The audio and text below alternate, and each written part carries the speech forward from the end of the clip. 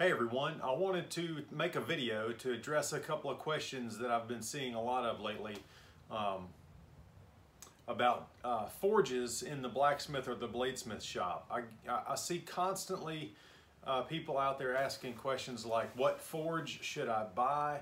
Um, how hard is it to build my own forge? Um, how many burners do I need? Should I use forced air? Should I use uh, Venturi burners? Um, should I just skip all that and use coal um, or coke? And um, so anyway, I just wanted to talk just a minute about forges in my shop and uh, tell you why I chose to build my forges and uh, what the advantages and disadvantages might be of these uh, types of forges. So uh, I, I have two main forges here in the shop.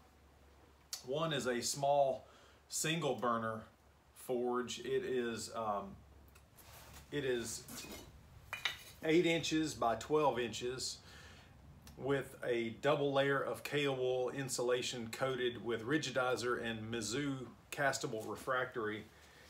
And um, this is run by a Ron Reil style Venturi burner. Um, and this is the forge that I have been using um, since I started in about 99, the year 2000, somewhere around there. I think that's when we built these forges.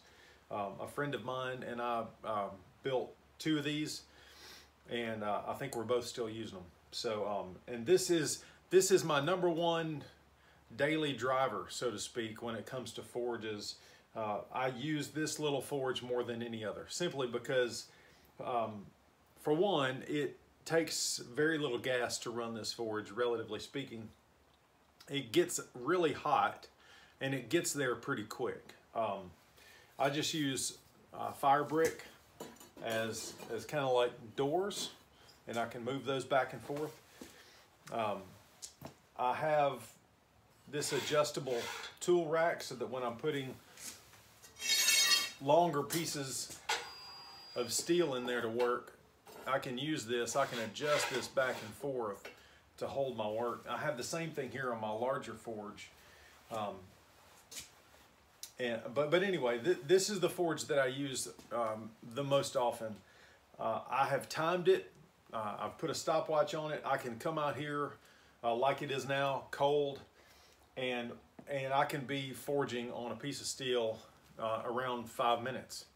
And so to me, the convenience factor for that forge is very, very high.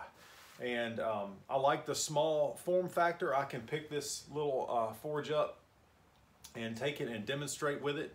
Uh, and because it's a Venturi burner driven forge, it requires no electricity. All I have to have is a propane tank. Um, so anyway, this little 8 by 12 forge is my favorite little forge. I've been using it for a long time and I will probably be using it for a long time to come. Now this uh, big three burner monstrosity here is uh, a forge that I built strictly for my time on Forged in Fire. Um, I needed a way to evenly heat you know, a sword shaped or a sword length piece of material uh, end to end. And so I needed something that was fairly long uh, that I wouldn't have to be moving that steel in and out and in and out and in and out and getting hot and cold spots. And so I used this forge primarily on the show strictly just to, uh, to get the sword up to an even heat for the quench. Uh, I did not forge the sword in this big forge. I forged the sword in the little one. Um, another thing about this little forge I didn't mention was on the back there's a there's a hole so that I can pass material all the way through. So you can work fairly large pieces of material in this small forge because it has that pass through. But um, uh, I don't use this three burner very, very often. Um, uh, a friend of mine had the body uh, welded up and built for me. It is a phenomenally stout uh, forge. It's like a quarter inch thick steel. Um, it is super, super strong and I've got a little over two inches. I think I have two and a half inches or so, maybe three inches of Kaowool in here uh, kind of compressed back, and then it's coated with uh, Mizzou refractory as well.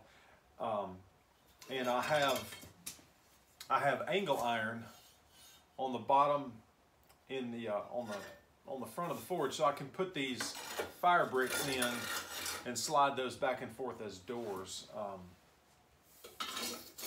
so anyway, both of my forges are Venturi burner driven, and what what that means is the, the burner itself does not have any electrical pieces like I talked about a minute. There's no fan.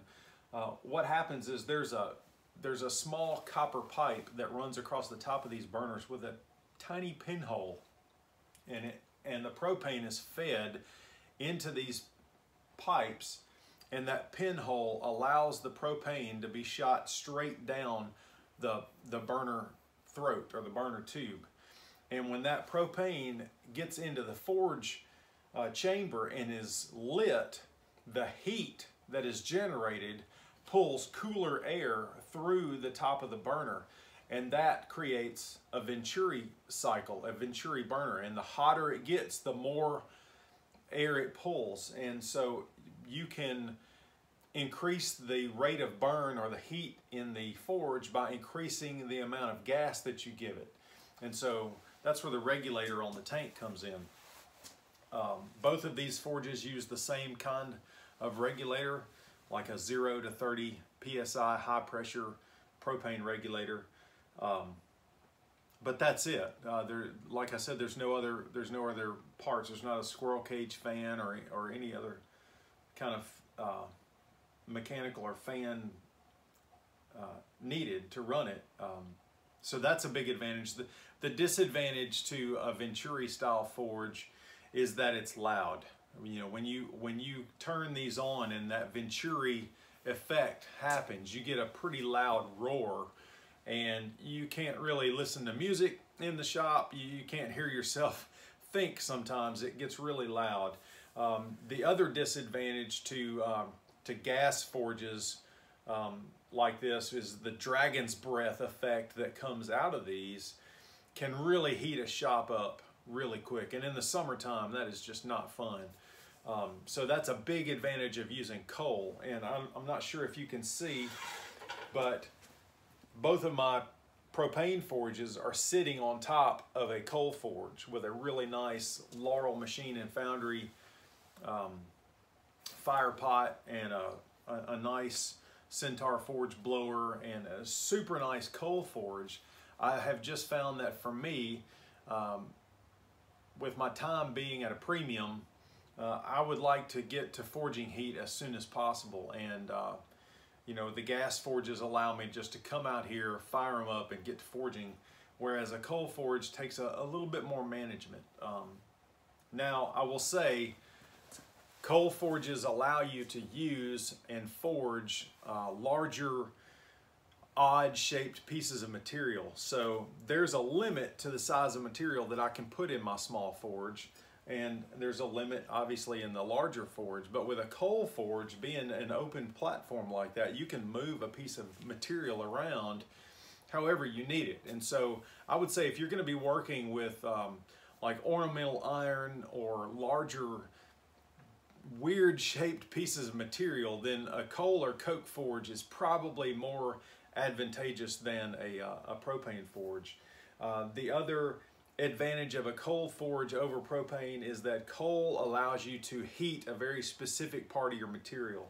So with a coal forge, if you just need to heat just this part of the bar, you can stick that in the coal and just really heat up just that small section. Whereas with a propane forge, if I stick this bar in here and pass it through, um, instead of getting maybe a two or three inch section of material hot, I'm gonna get about an eight inch section of material hot. And so uh, in that regard, you have to do more controlled cooling um, to work specific heated areas uh, in, a, in a propane forge. But for a beginner blacksmith or a beginner bladesmith, I highly recommend a small single burner propane forge.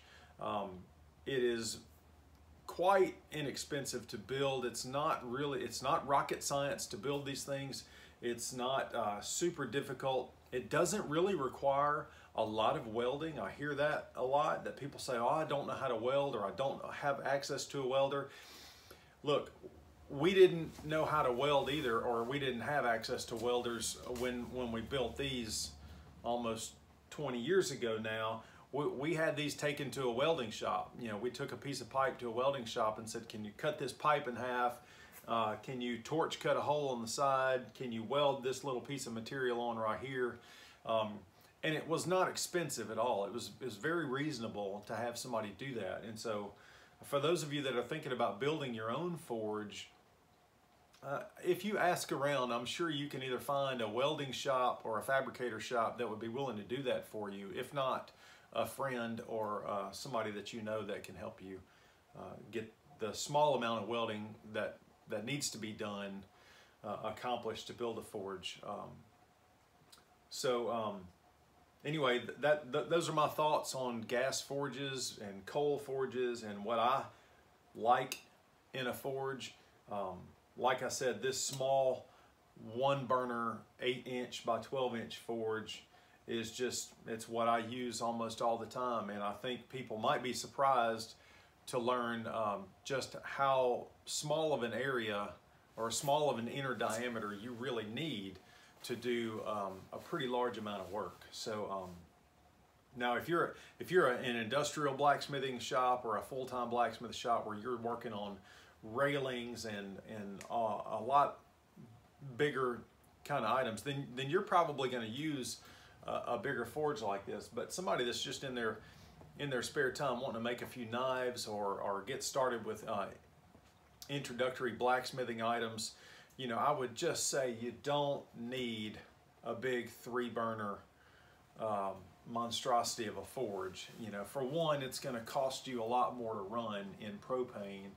Uh, it's more expensive to build, and um, and you it's you know if you're only heating a small amount of metal, it's kind of wasteful. You know, and so anyway, I would say if you're thinking about building a big three burner or four burner forge or you know multi burner forge really give it thought and and and see if that's what you need to do but um anyway I'll um, I'll add another video at the end of this clip where I just talk a little bit closer in depth about the individual features of each of these forges but if you have any questions about gas forges how to build them um, or uh, how to go about uh, finding parts for these burners um, shoot me a message below and I'll do my best to answer.